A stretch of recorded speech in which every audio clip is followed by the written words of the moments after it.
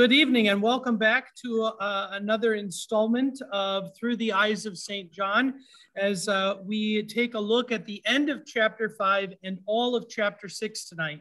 Uh, lots to cover, but I'm certain uh, that we can do it and we'll uh, be just fine. Uh, is there anyone who would be willing to pray for us tonight to get us started? Go ahead, Pam. Thank you. Nice and loud so that everybody can hear online too. Dear Heavenly Father, thank you so much for your free gift of salvation. Help the book of John and let our hearts be open to your word. Use this Bible study to apply to our lives. Create in us a clean heart, O God, and renew a right spirit within us. In your mighty name, amen. Amen. Thank you very much.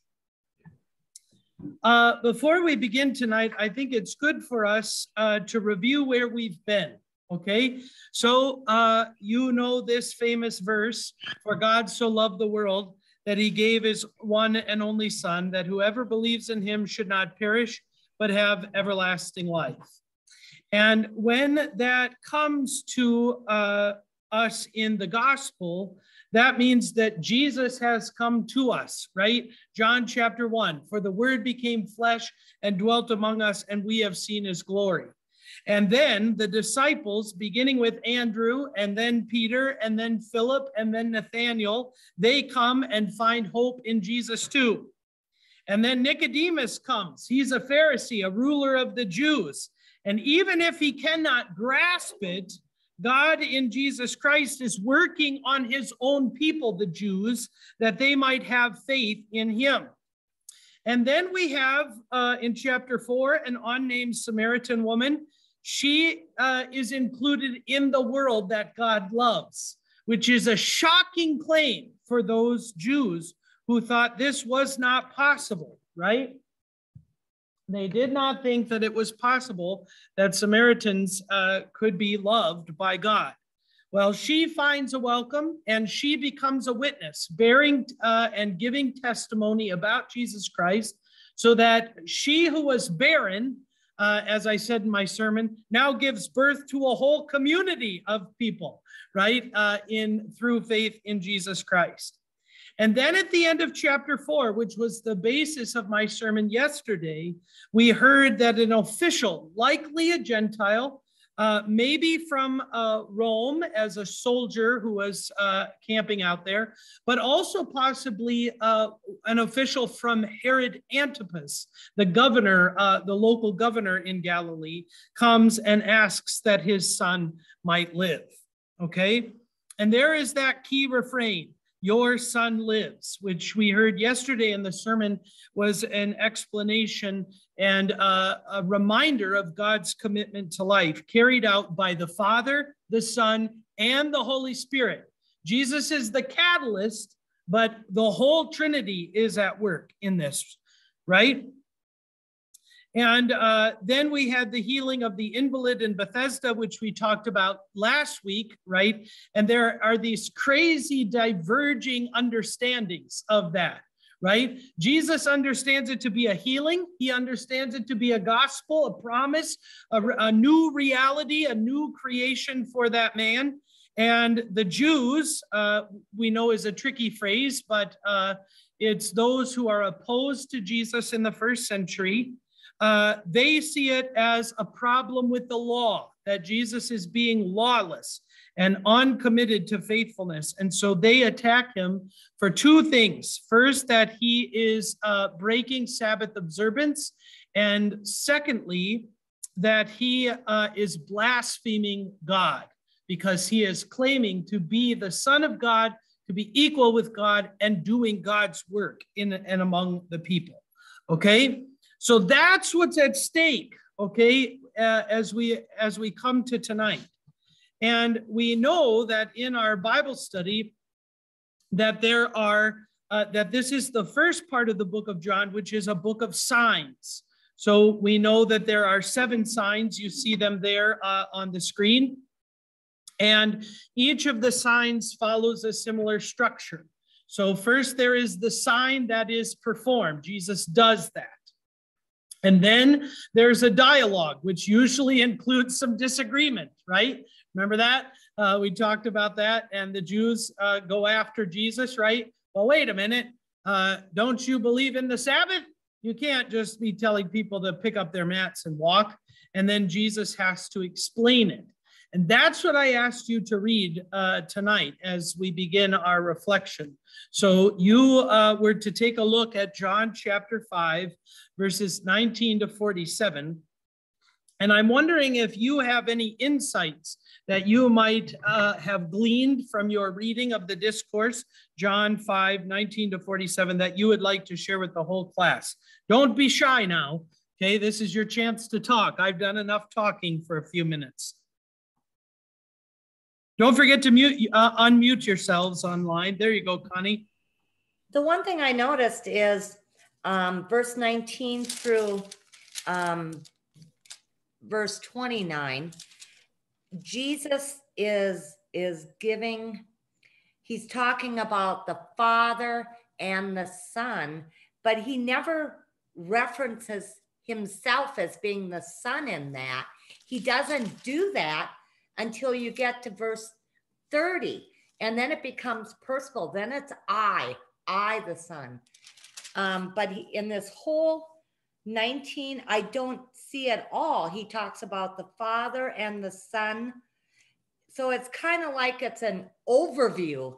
And then he gets yeah. into I am the son. Yeah. Like a general lesson. Yeah, a general lesson and then the particularity of that lesson. That's right. a great insight. Yeah.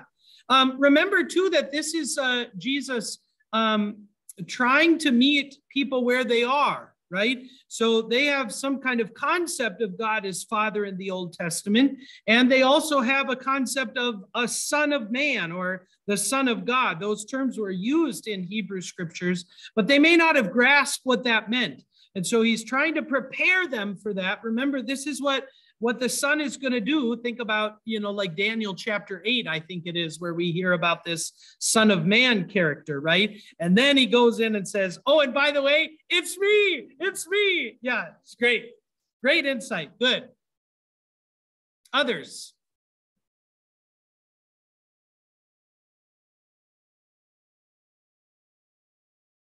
Normally talk about yeah.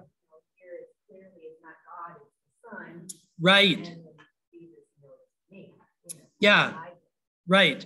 Uh, Claire said we don't usually talk about Jesus as being a judge.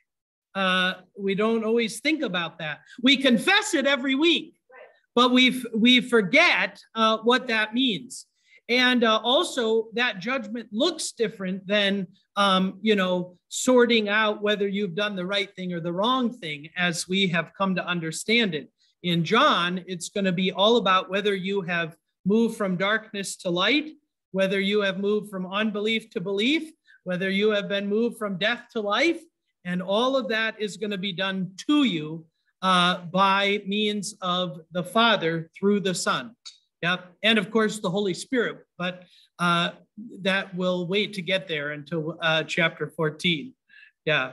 Great. Uh, a great topic. Yeah. Oftentimes, I think we forget about that little phrase at the bottom of the second article of the Creed, right? He will come again to judge the living and the dead. And what's interesting in Luther's explanation, it's almost Johannine. Uh, it, it follows John's uh, idea, right? He says, that the that Jesus the Son has done all of this in order that I might be his own, live under him in his kingdom, and serve him in everlasting righteousness, innocence, and blessedness. So, what kind of judge is Jesus? Is he a, ju- a judge with lots of wrath, really hammering down uh, the law?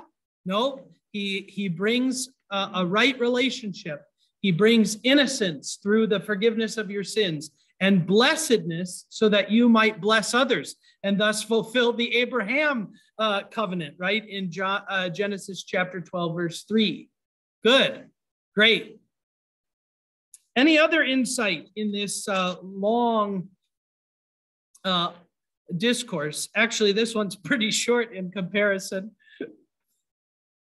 When I look at this, I think I always think to this day and age, how would I have reacted to that? Yeah.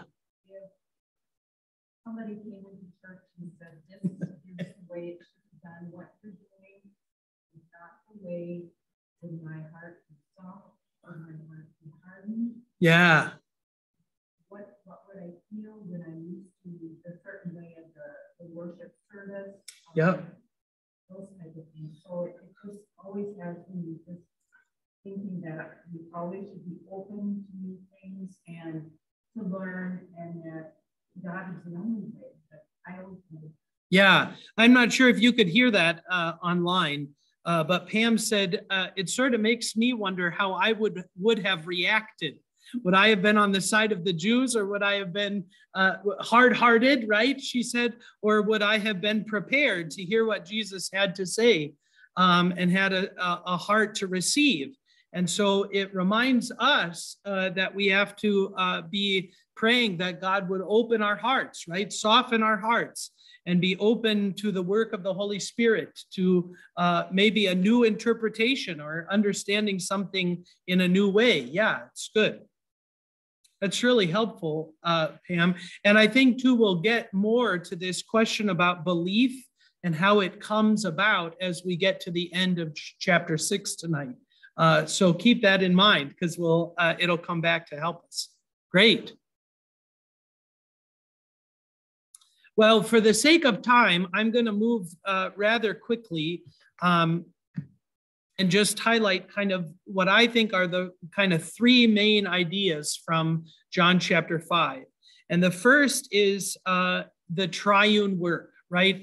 That, uh, and I mentioned this in my sermon yesterday. I hope uh, that was clear to you um, that God the Father, God the Son, and God the Holy Spirit are working together, right? In John, uh, he's the catalyst. He's the he's the pipe by which all of this gracious uh, gift is handed over to us uh, from God the Father and through the Holy Spirit. Uh, but they're always working together. That's what I love about this image that's up there, right? It's all tied together. That Trinity symbol, right? They don't work apart from each other, but they overlap. Um, that's the danger, I think, in confessing the creed that we think they work. Um, you know, that God the Father's in charge of creation and Jesus is in charge of redemption and the Holy Spirit does uh, the work of sanctification, but actually they are interdependent of one another and constantly working uh, that out. It's so hard for us with our limited minds. Yeah, to grasp that. Yeah. It's hard. It's Three in one, one in three, you know, and we can say it and say it in our brain. Yep. In some ways, I think John helps to break that out that Jesus is the one who is acting in the world, but he's doing the work that God has sent him to do, like God is the manager, right? Uh, or something like that. And the Holy Spirit is the one that's enabling Jesus to do all of that work, right? But even that is sort of a, a an, an understanding that breaks them apart in a way that uh, they really aren't broken apart. Yeah. Don't you think sometimes that sometimes the Holy Spirit doesn't get a lot of We. Yeah, yeah. Pray to God, pray to Jesus. We just kind of, Yeah, sometimes the Holy Spirit gets the shaft. Uh, in a way, because the Holy Spirit is always making sure that we hear and understand and know Jesus Christ, right? Uh, that's uh, that's the work of the Spirit. The second thing uh, that I lifted up uh, that the triune wor- uh, the triune God and the work that the triune God is doing is handing over the gift of life. And the gift of life, uh, really, especially in John, is a threefold understanding. It is life as a creature, right? So that I'm a physical person with a human body with needs like food, water, clothing, shelter, uh, and those sort of things. And God gives those to me in the creation, okay? And then in Jesus Christ, he gives me the new life or the life of faith. And that life of faith, uh, friends, as we hear in, in Luther's second article, is a life that is received through Jesus Christ and puts us into a living relationship with God and Jesus. And it is experienced in this world right now, right? It's not something that we're waiting for to happen uh, at the end of time, but it's right now.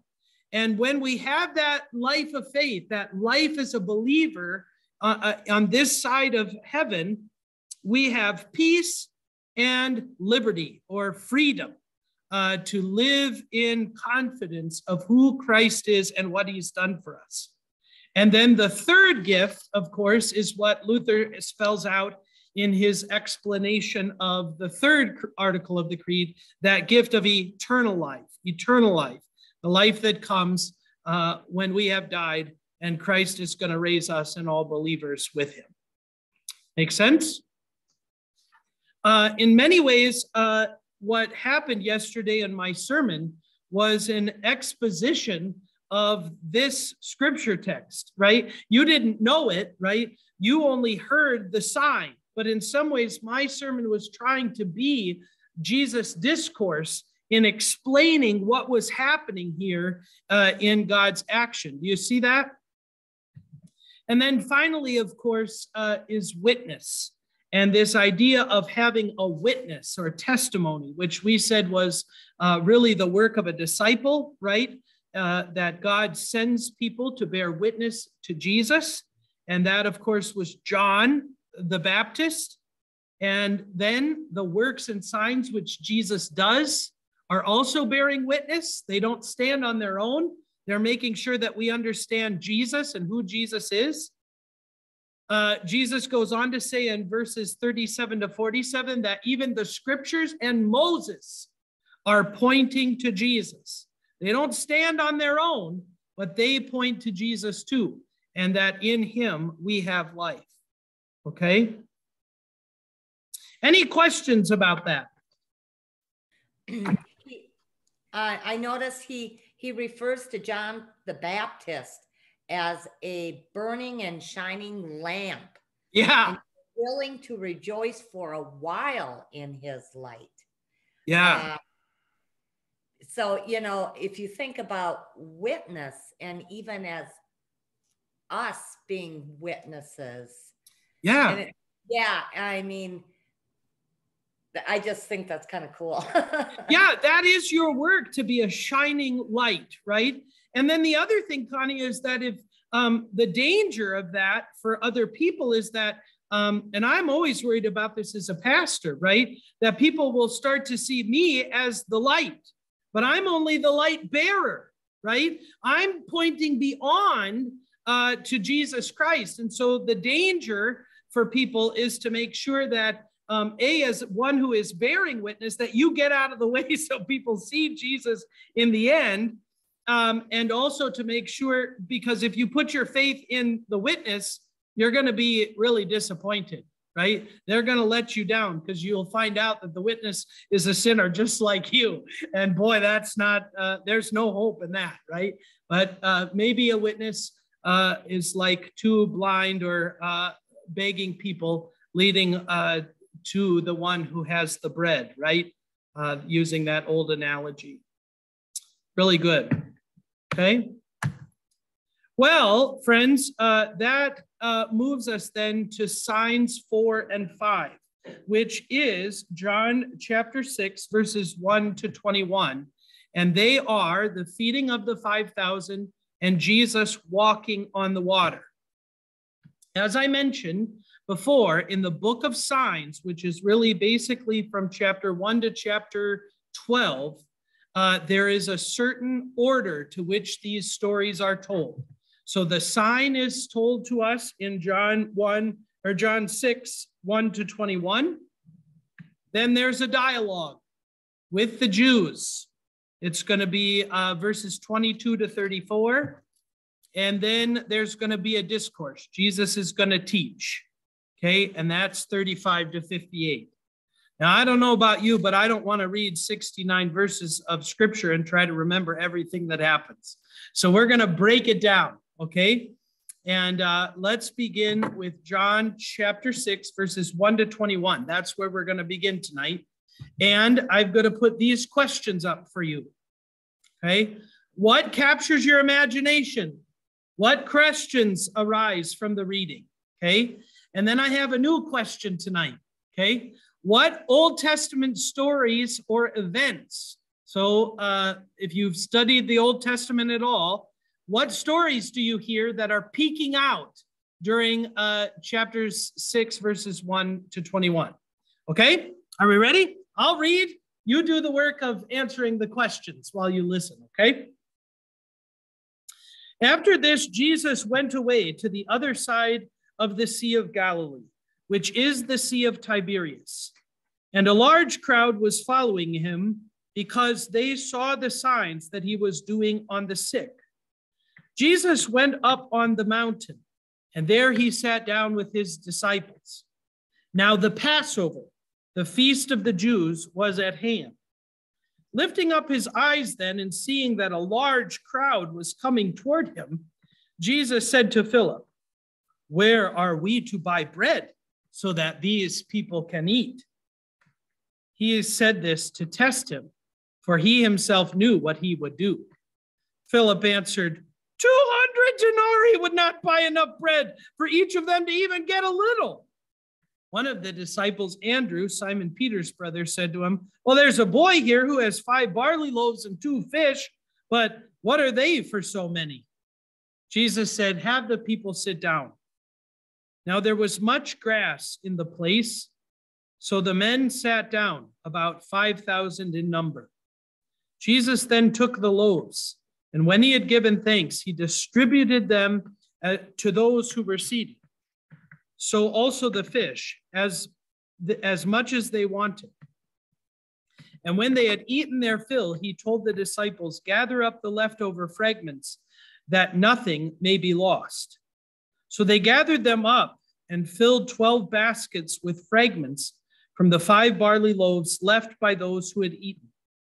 When the people saw the sign that he had done, they said, This is indeed the prophet who is to come into the world. Perceiving then that they were to, about to come and take him by force to make him king, Jesus withdrew again to the mountain by himself. When evening came, his disciples went down to the sea, got into the boat, and started across the Sea of Capernaum.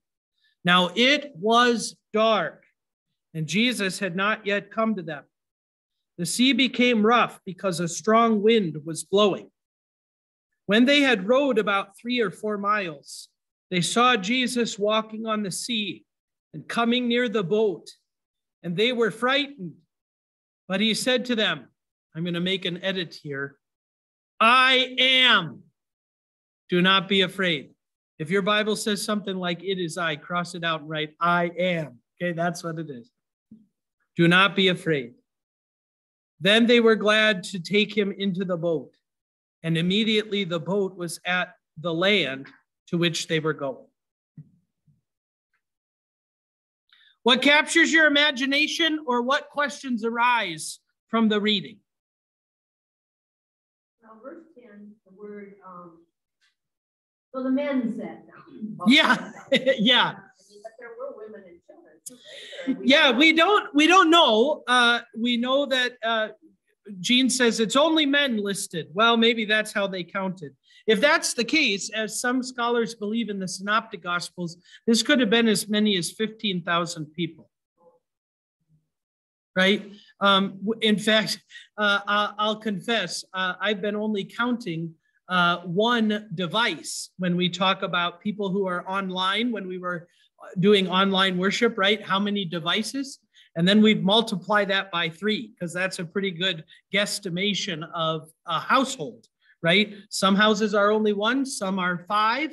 Uh, you average that out with three, and that's how you get your number. So uh, that's been a, a guesstimation. But yeah, there could it could be 5,000 men or 15,000 people in total. Yeah, and anything in between. Okay, Gloria, were you going to say something?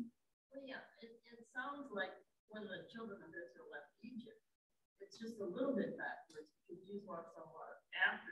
Yeah, yeah. Um, uh, but they were fed.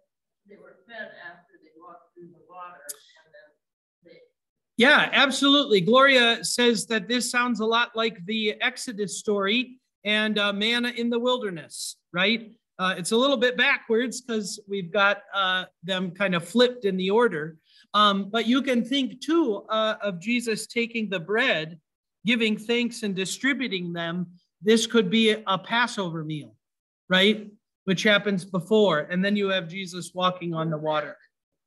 Yeah, and then the manna that comes later. Yep. Good. So Passover Claire. said Passover was at hand. So doesn't that mean that they're in the middle of it? Yeah, it's Passover right now.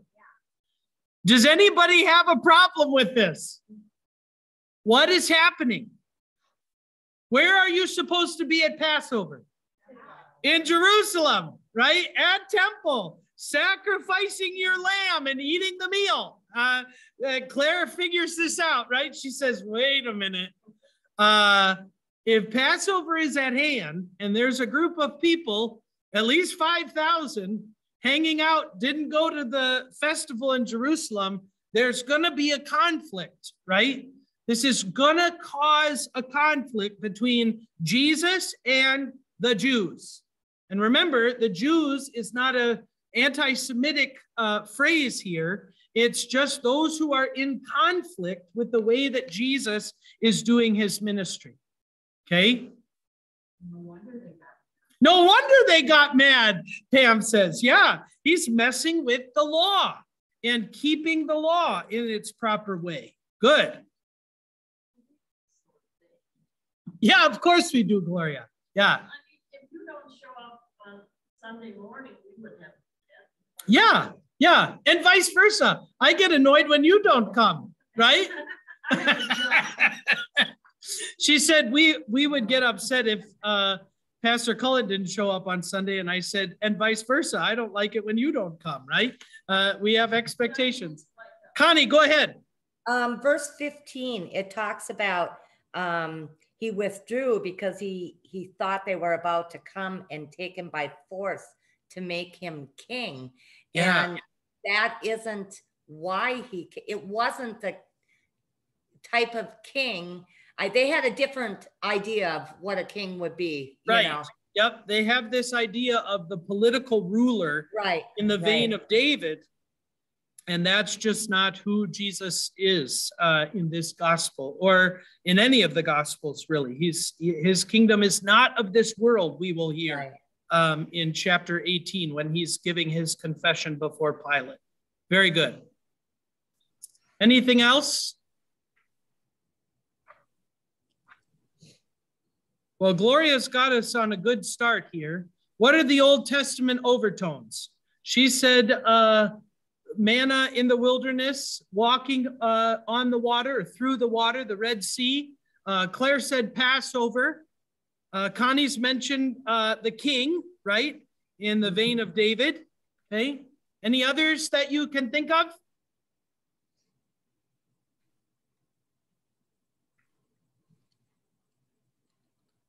Oh. Oh. Uh, go, just a second, Connie. Go ahead, Pam. Moses brought the, the tablets down. Yeah, this mountain, this idea of the mountain at Mount Sinai and bringing the tablets. Good. Yeah. Uh, Connie, go ahead. Well, when you had you had us changing the word here to I am. Yeah. yeah, I am, right? Uh, the divine name of God. Right. Exodus 3. Yep, very good. Yeah, and you got to cross that out. It's bad translation, friends. Got to right? get it right. Anything else? We've hit a bunch of them.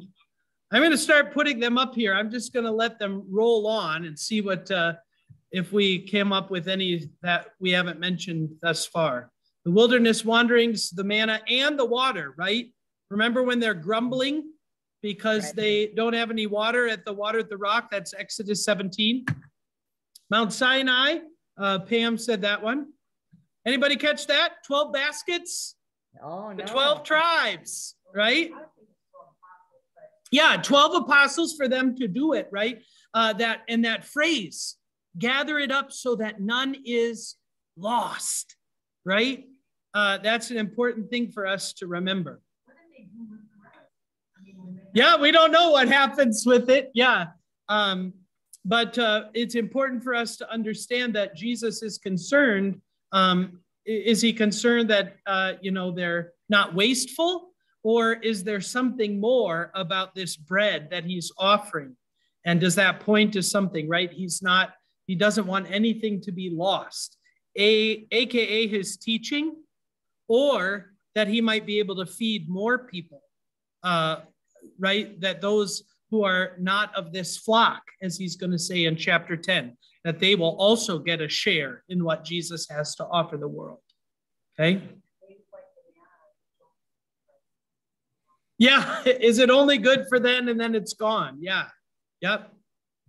The next one uh, in, in Deuteronomy 18, Moses promises that a, a prophet greater than he is going to come, right?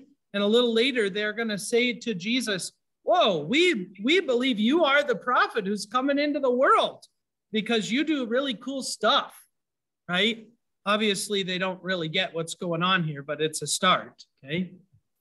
Connie mentioned the political Messiah, okay? There's a story in Exodus, uh, no, excuse me, in Second Kings. It's so small that you probably have forgotten about it, but the prophet Elisha also feeds uh, a group of, uh, I think it's about 100 people, and he does it with barley loaves, right?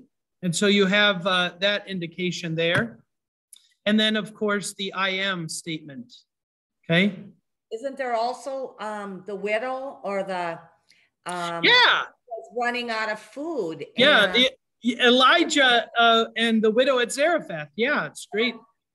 Yep you sort of think of her too uh, with last or yesterday's reading, right, of the official and his care for his son, right? And right. she has this same thing. Yeah, Elijah kind of echoes there too. Good.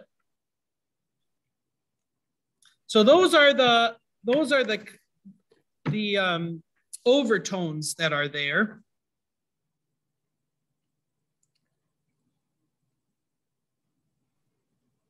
The other thing that's interesting, as uh, Claire pointed out, if this is really Passover, and there uh, there doesn't seem to be a lamb being sacrificed, except the Lamb of God is the one who is teaching them.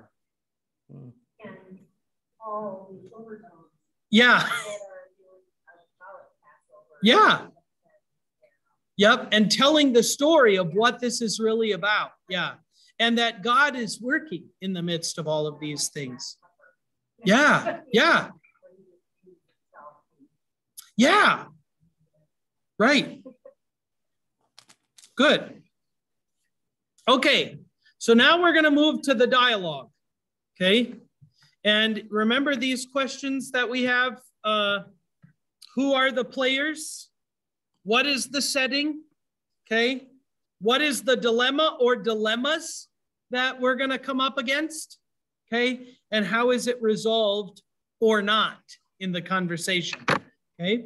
So we're just going to read now uh, verses 22 through 34. Okay.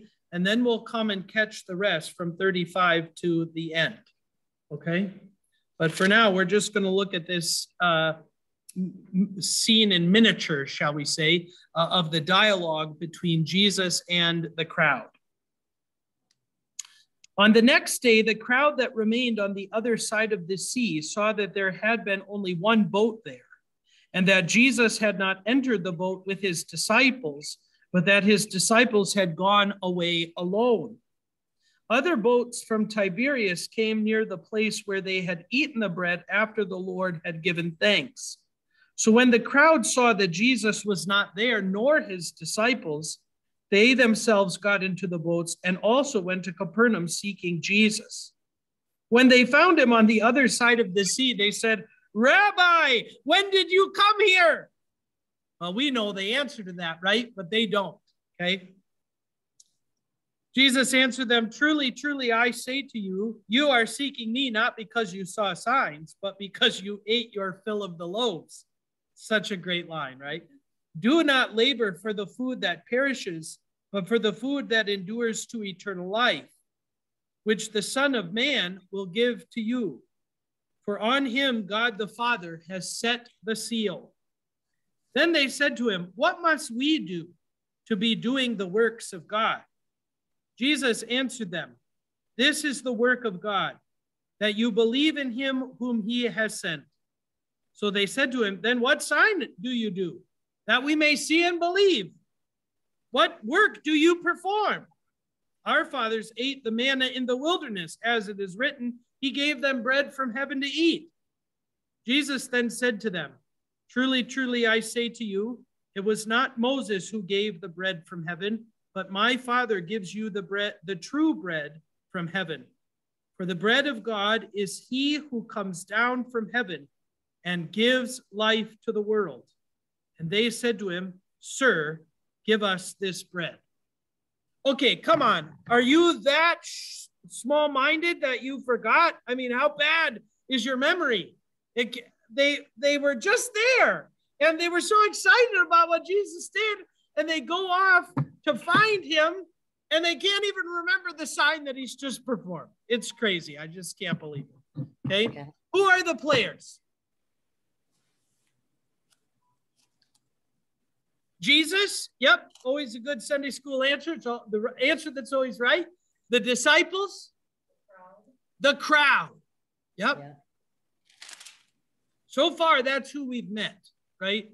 It seems uh, later on that there are going to be some Jews that are also going to come, um, whether they've now come back from the festival or they uh, are the, the leading authorities of the synagogue, although it's hard to believe that they would not be um, at uh, temple. Gloria.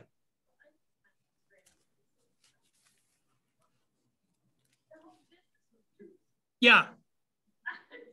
Yeah. Yeah, it, they are all Jews. Uh, the term for the Jews in John is going to be those who disagree or are in conflict with Jesus and his teachings. Okay, so there are going to be some Jews who are uh, on board, right? And then there are going to be other Jews who are in conflict with Jesus. Yep. And some that are, yeah, uh, have no clue. Good point. Okay, so we've got Jesus, the disciples, the crowd, and the Jews, right? That's everybody. And I suppose we could say God the Father who is at work right? And uh, Jesus is going to defend uh, God the Father. Okay. What is the setting?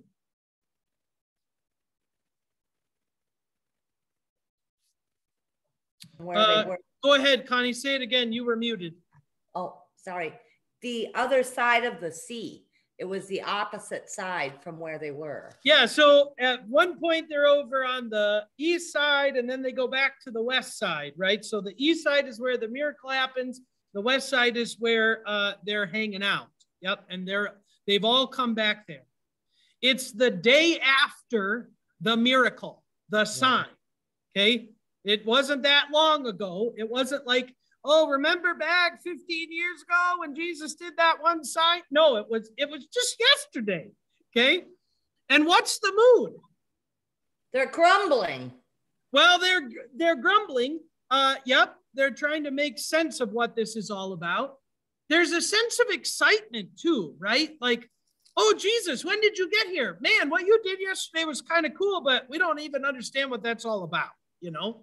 So there's uh, there's a couple of pieces here. Okay. What are the dilemmas that are showing up? What are the dilemmas that are showing up thus far? They, they need signs continually, it seems like, to be able to. I mean, they're asking for um, another sign or, or what sign do you do that that's what they're looking for as signs? Yeah they're asking for signs and the role of signs is always to point to jesus right? That's right. what we understand. Um, i think it is a guy by the name of barrett. Uh, what is that what is it that he says about it? The sign of the loaves quickened the appetite but not their faith right? I love that line. It quickened their appetite but not their faith. So they're asking for signs it's as if they've already forgotten about the feeding of the 5,000. Yep. Which means, too, that their faith may be based in just wanting a miracle, but not necessarily receiving Jesus as the, as the Messiah. Okay. What's another dilemma? Pam.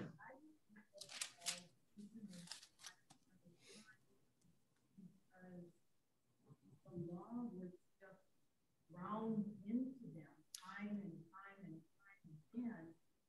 But Yeah, they're they're trying uh what Pam just said is that the law was so ingrained in them that now they've heard a different teaching or they have a different uh understanding that's coming to, but they don't really fully comprehend it. So they're trying to get a better understanding of who Jesus is, what he's bringing to the world. And what it is is so different from what they're used to. Yeah, that's great. Claire. I find it ironic, you think back to the official, you know, and Jesus out of nowhere says to him, unless you see signs and wonders, you will not believe. And, and that wasn't the official scenario, but now it is. you yeah, know, yeah, The crowd is needing the signs and wonders. Yeah. yeah. The the man, the official sort of submits to God's power in Jesus Christ, right? Just come before my son dies, right? And he gets both life and faith. And here they just want the signs. They don't want the life and faith that come with it uh, in Jesus. Yeah, great point. It Good. seems like Connie. trying- it seems like they're, it's all about a physical hunger. Um, Yeah. Fill their stomachs, but Yep. Not understanding about the bread that he's, the spiritual bread that. Yeah, this is not the first time in John's gospel that Jesus uses sort of a physical reality to uh, explain a spiritual need, right? Right. Uh, it, you remember the Samaritan woman, give me a drink, right? And then it's about living water. Well, how are you going to get this living water? Because you don't have a bucket. And it goes back and forth, right? They don't understand. Uh, Nicodemus, right? Well, I can't crawl back into my mother's womb. That'd be painful and terrible, and I'm not doing it. Well, that's not what I'm talking about, Jesus says. It's a birth that's given to you from above, right? By God's power. So Jesus uh, is always speaking in the world, but we don't understand that the world itself, created by God, is also bearing witness to who Jesus is and what he's doing among us. It's so remarkable.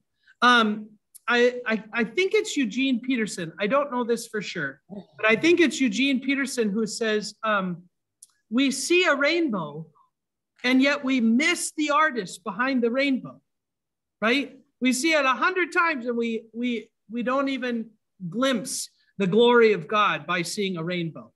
What a what a novel uh, reality, right? That's so self-absorbed, really, that we miss the Creator. Yep. Any other dilemmas that you sense thus far?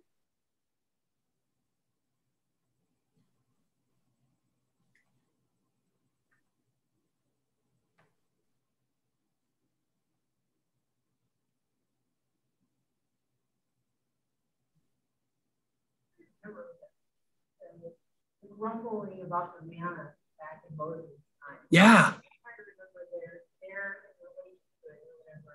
There, is there a correlation or? Yeah, I think there is. They they are grumbling because they want to go back to the way it was, right? We ate out of the flesh pots in Egypt, right? And here all we have is this crummy manna. Yeah. Um, and they also don't understand that that is the way that God is sustaining and nourishing them for the journey, right? Um, and here they've had their stomachs filled, but what happens? You wake up in the morning and you need your breakfast again, right? Mhm. And I think that's the other thing that's sort of happening here is that uh, they're hungry and they just need to fulfill their appetite. Yep. And- Moses' time, Didn't God just have enough for that day? Yeah, and just enough for that day. Yeah, that's a great insight. That's a great insight, Jean. She says, Well, God only sent enough for that day. So, of course, they're coming back to Jesus saying, Hey, we need some more. We need a refill. You know, it's a new day today. Come on. Uh, that's a great, that's a great insight. So maybe they do come sort of with a sense of wonder. Uh, uh, maybe it's even faith filled. Okay, we ate our fill today. Now, where's our fill? Or we ate our fill yesterday. Where's our fill for today? Yeah, that's a great. Yep. Yeah. And the next thing that comes with that, right? And the other thing that's kind of important is that Torah was often referred to as bread, right? So it's, we heard your teaching yesterday, we saw it yesterday. Now we've come for our teaching today. What are you going to show us today? Yep. So it may not be that these these are sort of bullheaded, ignorant, grumpy Jews. These are just people who are really intrigued and they have really caught on and and see this new thing that Jesus is doing uh, that's in vein, in line with everything that the Old Testament God did. And now he's doing the same thing here. And we want to see that and, ha- and be a part of it. Great. Great insight, friends. Pam.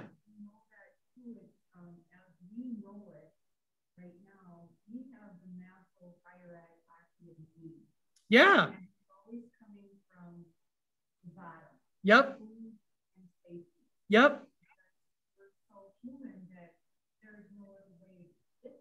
Yeah, yeah, yeah. The basic needs, uh, Maslow's hierarchy of needs says we need our basic needs met first before we can move up the up the pyramid or up the ladder uh, to those things like transcendence, right? Uh, yeah, that's that's really good. Right? I really love that insight, uh, Gene, that you bring. That's really helpful. Yeah, maybe they re- remember that. Didn't some of them try? Yeah, they tried to hoard it for the next day. Yeah, and then it turned into you know maggots or whatever. Yeah, good. I I really like verse 37. It's such a promise. 37. All, verse 37. All that the Father gives me will come to me. And whoever comes to me, I will never cast out. Yeah, what a word, huh? Yeah. yeah. Connie, will you take us through uh 35 to Oh, I okay. That's okay. You're you're making the same. Moving on, people. Okay. Uh let's take a look. This is now the discourse, right? I am the bread of life. Okay, so there's Jesus, the Savior with the Eucharist. Okay, I am the bread of life. Will you read 35 to 51, please? Okay. I am the bread of life. Whoever comes to me shall not hunger, and whoever believes in me shall not never thirst. But I said to you that you have seen me and yet do not believe. All that the Father gives me will come to me, and whoever comes to me, I will never cast out. For I have come down from heaven not to do my own will, but the will of him who sent me. And this is the will of him who sent me, that I should lose nothing of all that he has given me, but raise it up on the last day. For this is the will of my Father, that everyone who looks on the Son and believes in him should have eternal life, and I will raise him up on the last day. So the Jews grumbled about him because he said, I am the bread of life that came down from heaven. They said, Is not this Jesus, the son of Joseph, whose father and mother we know? How does he now say, I have come down from heaven? Jesus answered them, Do not grumble among yourselves. No one can come to me unless the Father who sent me draws him, and I will raise him up on the last day. It is written in the prophets, and they will all be taught by God. Everyone who has heard and learned from the Father comes to me. Not that anyone has seen the Father except he who is from God, or he who is from God, he has seen the Father. There you go. Okay, how far am I supposed to go? 51? Yep. Truly, truly, I say to you, whoever believes has eternal life. I am the bread of life. Your fathers ate the manna in the wilderness and they died. This is the bread that comes down from heaven, so that one may eat of it and not die. I am the living bread that came down from heaven. If anyone eats of this bread, he will live forever. And the bread that I will give for the life of the world is my flesh. Oh my gosh, that's crazy. right now, this is the discourse. So, this is Jesus explaining everything. This is Jesus helping to put into context what does the feeding of the 5000 mean? What does uh what does the walking on the water for the disciples mean? Okay. Uh, what does the conversation about Moses and the bread come down from heaven mean? Now, Jesus is giving it all very clearly to us in this explanation. Now, as Connie was reading, I was listening. There's another one of those threefold refrains. Did you catch it? I will raise them up on the last day. And we heard it three times. Okay. I think John's on to something here, right? But of Mhm. course, you know, these these gospel writers, they're just simpletons. They didn't really, you know, lay this out or try to put this together in any way. Uh, yeah, right. Okay. There we have it again. Your son lives, your son lives, your son lives. That's what we heard last week. And now today, I will raise him up on the last day three times. Good. What else? Uh, what comes to mind as you hear these words that Connie just read? One thing, you know, where we were talking about the Trinity, and you can definitely see that the Father and the Son are in sync here, and and Jesus does the will of his Father. So Yeah. there's no, you can't separate them at this point. That's right. Uh, uh, John has a real distinct understanding, right, of the unity of the work of Father, Son, and Holy Spirit. And uh, Jean, it's important. You you said sometimes we forget about the Holy Spirit, but if you remember back to John chapter one, John chapter one said. Uh, this was John the witness who said of Jesus, I saw the Holy Spirit descend and remain on him, that the Spirit abides uh, with Jesus, that Jesus walks around um, with the Holy Spirit in or on or around his very being. Okay. Uh, John chapter 1. Uh, I saw the Holy Spirit descend and remain on him, abide with him. Okay. So it is, it's all three of them doing this work uh, at the same time. Really good. Other insight, Claire. I say, I think it's interesting how it moved from, you know, the crowd of people um, to where they're, they're hearing him, they want the bread always, they sir, Yeah. give us the bread. Now the responding people after he keeps explaining are the Jews. Yeah, the grumbling Jews who are in opposition to Jesus. Yeah, It Yep. you wonder about all of the rest of the crowd because the ones grumbling are probably a few. yep, you know, yep. As the as it always is, right? The grumblers are few, but they're the loudest bunch, right? Yep. So anyways, I just, that struck out to me and I, I love how we have um, the Last Supper. Yeah, All of those, right, right. Um, so I want to respond to both things that you said here. Um, that earlier you mentioned that Jesus is the judge, and he begins to speak, and all of a sudden there's a revelation, there is a revealing. The light has come, and those who believe what Jesus says are in the light and they're happy about it, and they're full board, they're on board. They, sir, give this bread to us always. Jesus continues speaking, teaching, revealing, and uh, the light has come, the teaching is declared, and now the judge is revealing those who are in darkness, in unbelief, who are outside of uh, and are actively rejecting Jesus, saying, We can't have any of this. How can he say this? This isn't possible. Yeah. So um, Jesus isn't judging them, uh, saying, Oh, you're terrible people because you don't believe me. He's just saying it, and all of a sudden, boom, it happens, right? Um, that's a really profound uh, reality, I think. Um, the way that that sort of manifests itself. as we heard in uh, what is it? It's uh, John 3 19 to 21, right? And this is the judgment that the light has come into the world, and the people hated the light because their works were darkness and evil. Okay. So that's one thing. And then you said, this is the Eucharist. This is this is Holy Communion.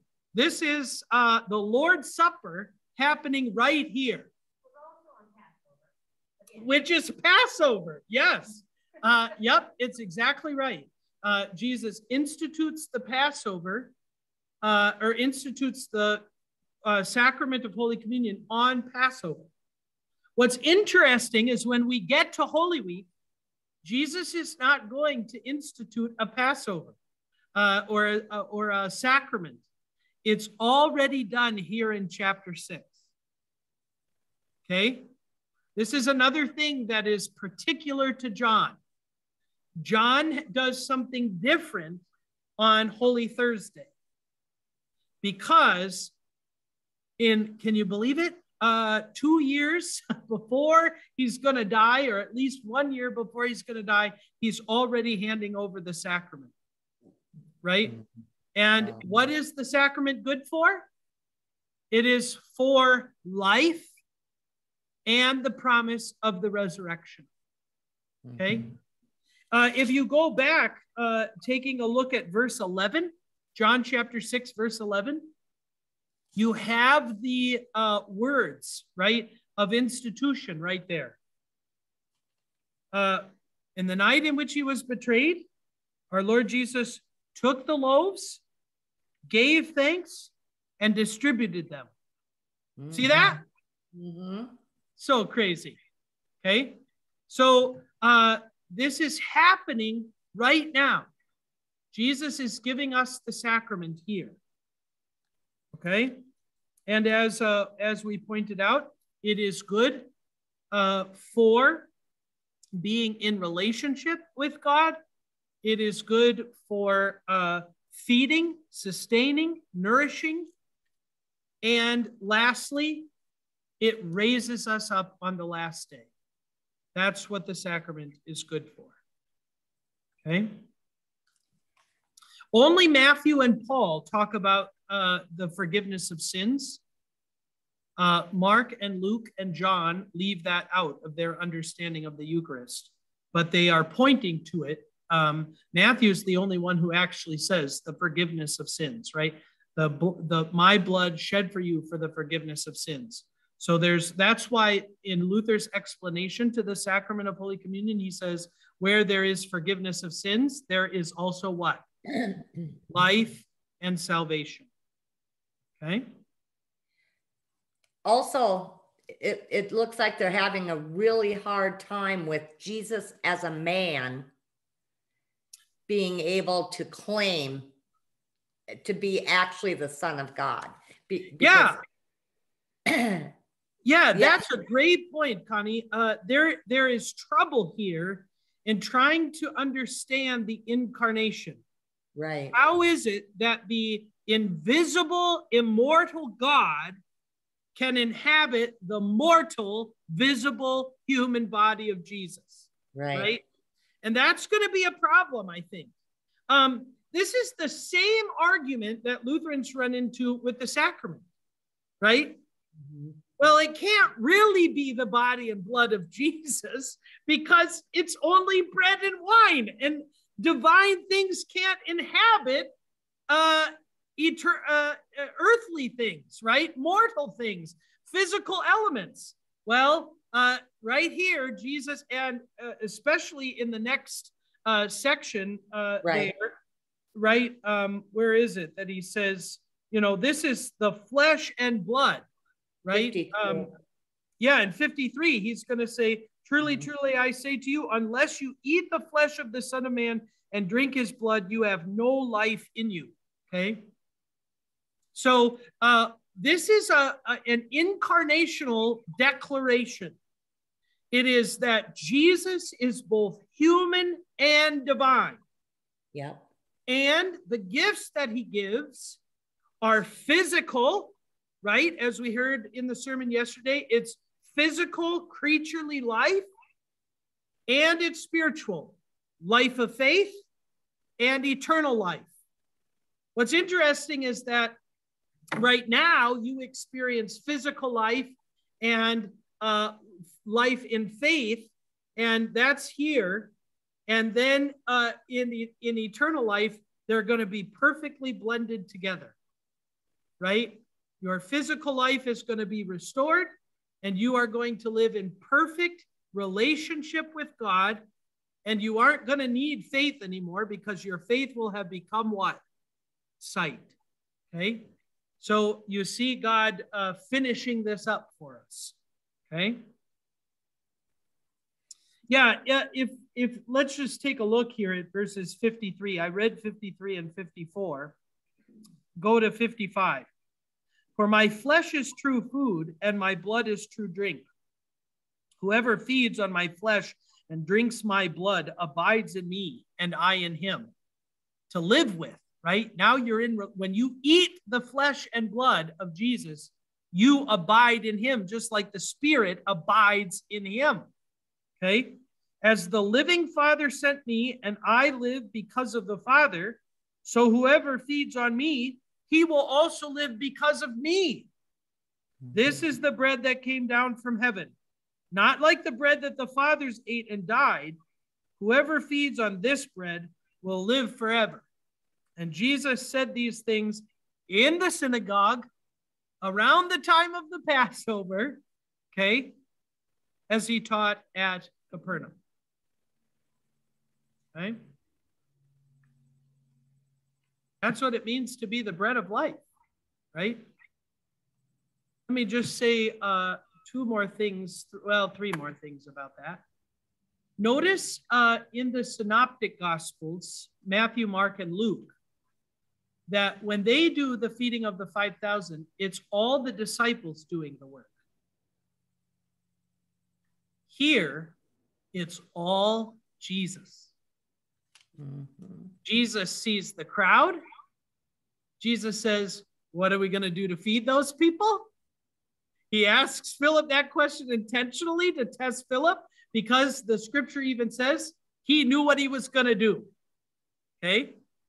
And then he takes the five loaves and he distributes it to the people. He gives it out to them, not the disciples. The disciples are the busing crew. They are on cleanup duty, right? They have to clean the kitchen and take out the garbage and make sure that everything is back in tip top shape for the next day. But Jesus is the provider, the one who gives us the life and the things that sustain life, including bread and water, food and clothing, shelter, all those things. Okay. This is why he teaches us to pray for daily bread. It's that simple. It's those simple things.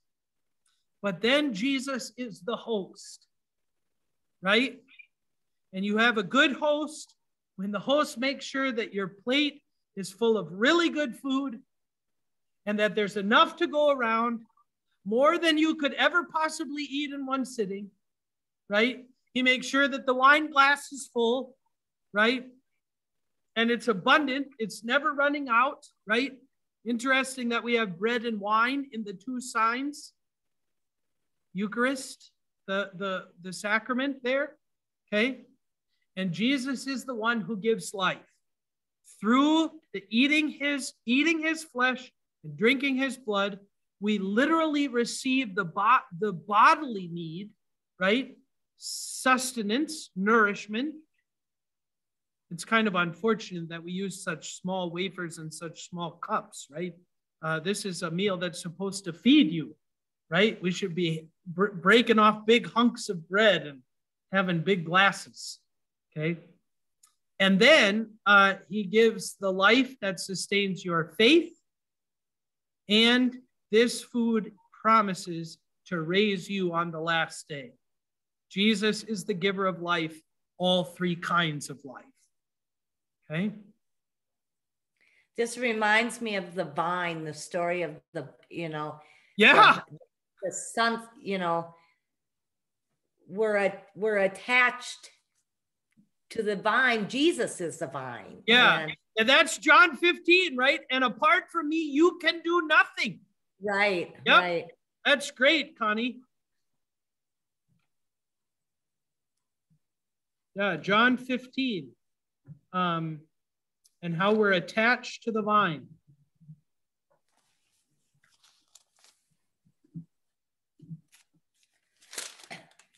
I'm taking notes. Okay.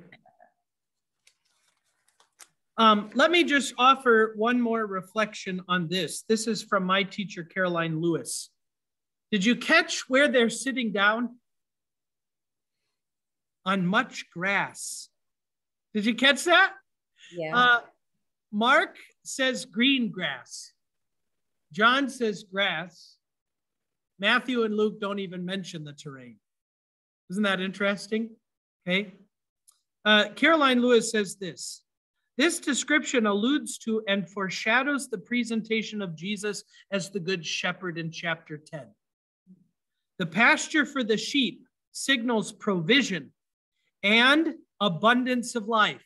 I came that they may have life and have it in abundance, John 10 10. And this abundance is clearly present in the feeding of the 5,000. We are reminded once again that abundant life can be as simple as the basic necessities of life. It is abundance reconfigured through the concept of a relationship. Okay? Life cannot be abundant if it is not grounded in an intimacy and a relationship and security. Think about a mother feeding her child, right? The child comes to trust the mother because uh, Maslow's hierarchy of needs is met, right? Okay. Abundant life cannot be felt or experienced if the knowledge and promise of provision are not assured. Abundant life is predicated on the human necessity of dependence and reliance. Above the minimal needs comes abundance and the ability to thrive. That's Maslow right there, too. It's crazy how he's coming back all the time.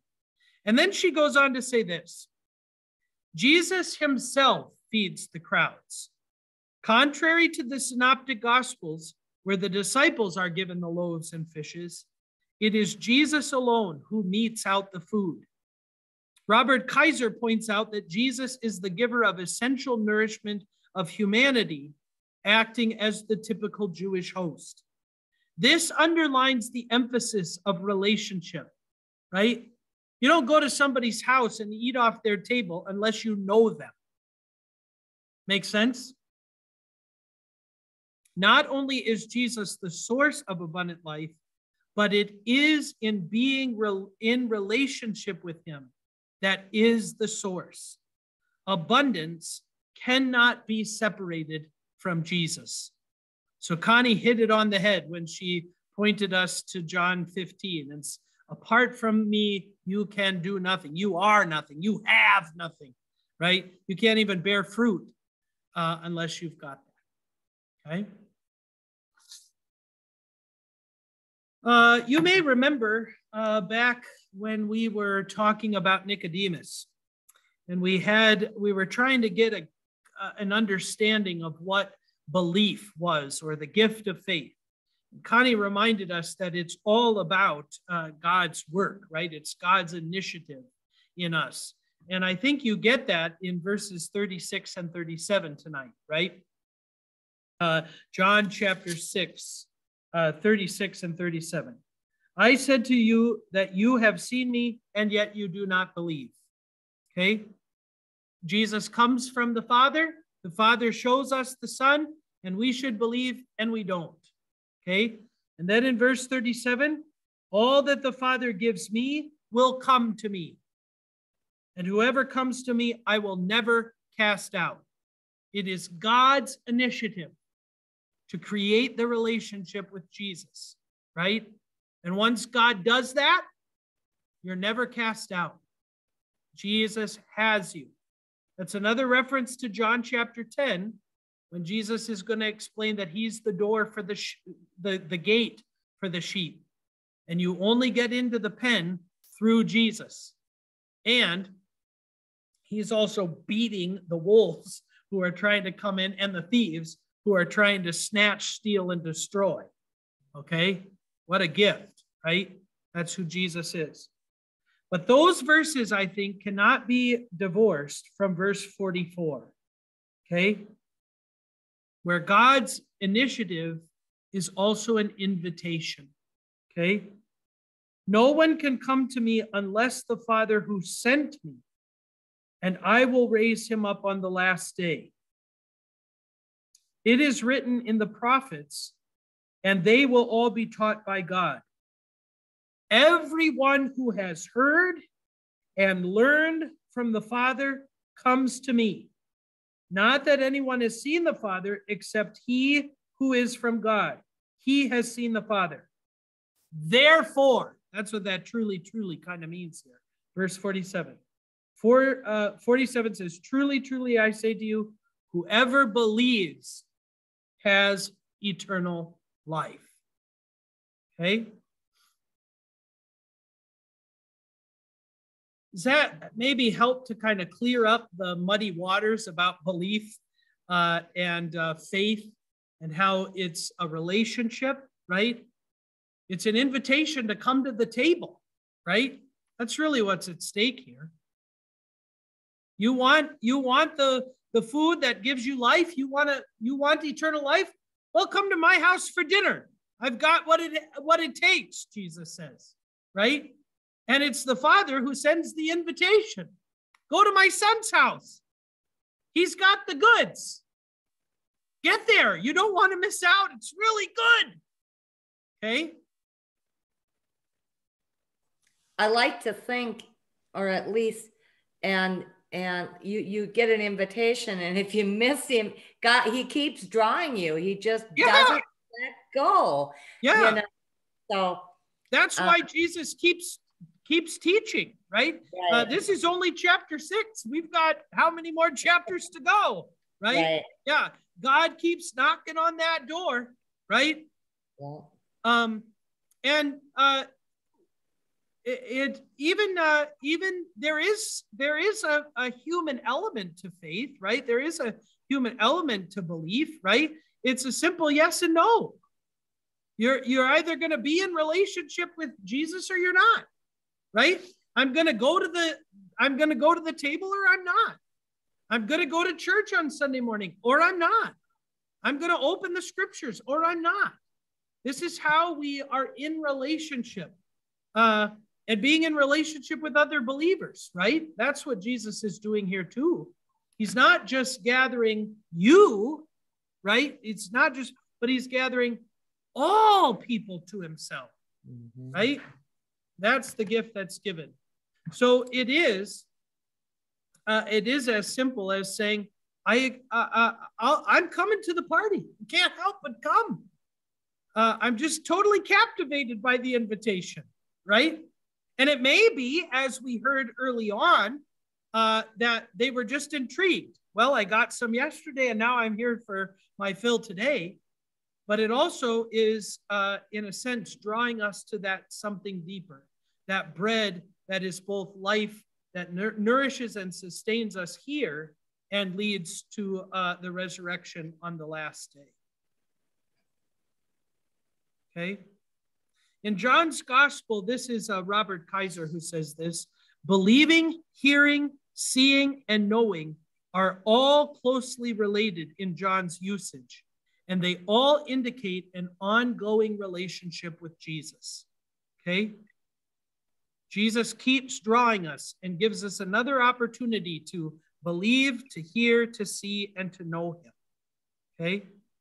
John appreciates the mystery of the process of believing, recognizing that human will is essential, right?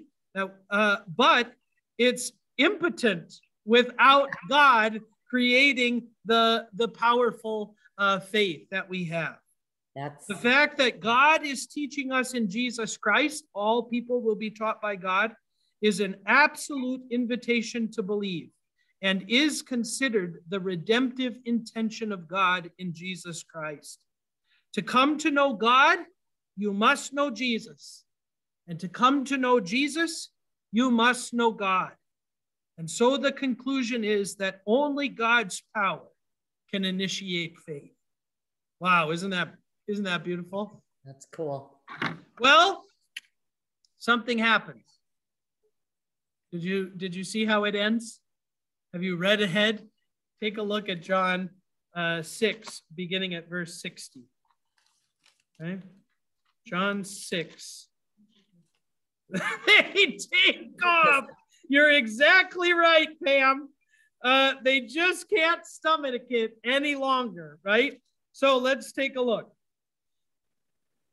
Many of the disciples heard it and they said, This is a hard saying.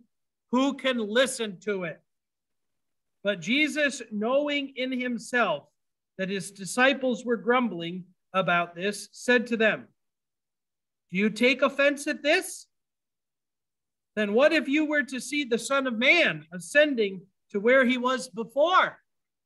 If you can't handle the bread come down from heaven, you aren't going to be able to handle the ascension of the Son back into heaven. It is the Spirit who gives life. The flesh is no help at all. The words that I have spoken to you are spirit and life. Anybody hearing the words from John chapter 4? You will worship me in spirit and truth, right? Okay. But there are some of you who do not believe. That is, you are not in relationship with me. You, you have decided to actively reject my invitation. Okay? You you can't grasp this and you won't. Uh, I kind of think about um, you know the the active atheist, right? Or the what do we call them now? The nones, right? N O N E S. I don't want to have anything to do with that, right? They have decided that they're not going to live in community with the church and they're not going to be in relationship with Jesus. They have rejected it altogether. Okay? Jesus knew from the beginning who those were who did not believe and who it was who would betray him. It's not a surprise to Jesus that some uh, ultimately do not come to faith. Okay? We, uh, what can we do in that? We can keep sharing. We can keep praying. We can keep inviting. We can keep confessing, but ultimately, faith is God's work, and that's uh, it's up to Him. Okay, so you just have to leave that be. This is why God is God and you are not, and it's that's painful, stressful, annoying, uh, bothersome, uh, but it, it is to trust the first commandment to fear, love, and trust God above all things, including your ability or inability to convert people, right? Woo, what a gift. Uh, I'm somehow my shoulders feel a little lighter now. Okay. Right. But then let's keep going. Uh, verse 65. This is why I told you that no one can come to me unless it is granted him by the Father. Promise that Connie pointed out in verse 37. Mm-hmm. Well, Pam got it right. Verse 66. After this, many of the disciples turned back and no longer walked with him. They gave up. They rejected the invitation. They said, This is too hard. It doesn't make sense. And by the way, I'm not interested in what you're selling. So they left.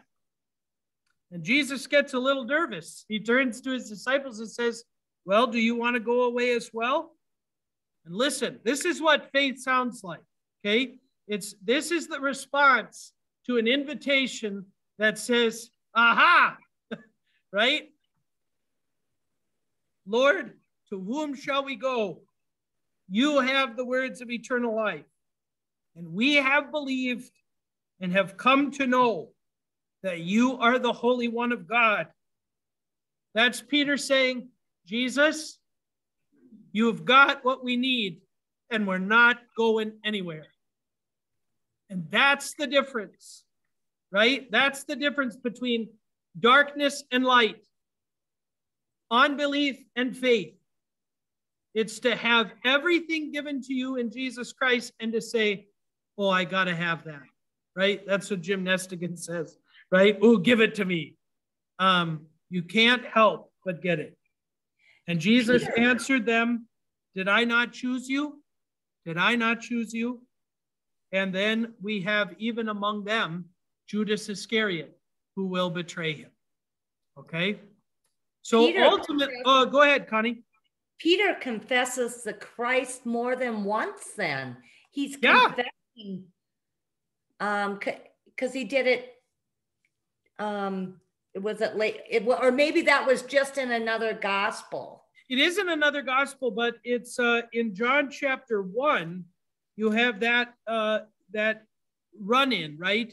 Uh, that Andrew comes and tells him, "We have found the Christ," and Christ Okay. points him out and says, "Well, you're going to be Simon, uh, son of John, but you're also going to be Cephas." Yeah, you're thinking of uh, "You are the Christ, the Holy One of God" from Matthew 16 Oh, Right. okay. they're related. They're certainly related.